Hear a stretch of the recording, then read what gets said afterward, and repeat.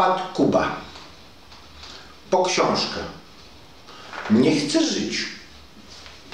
Dałem mu, bo mówi, że bardzo on potrzebuje. Ja mówię, tam, no fajnie, że potrzebujesz, ale dwa słowa powiedz, czemu potrzebujesz. Mówi, bo wiesz, mam wujka.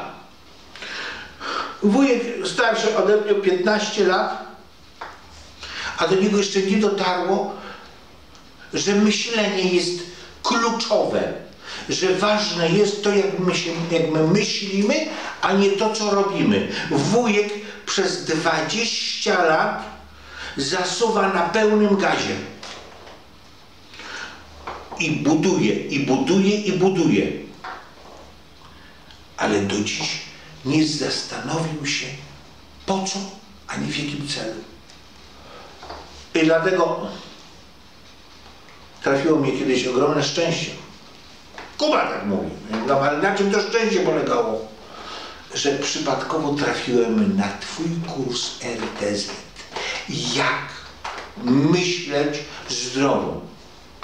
I że każdemu życzę, każdemu życzę, żeby trafił przypadkowo lub nie na twój kurs.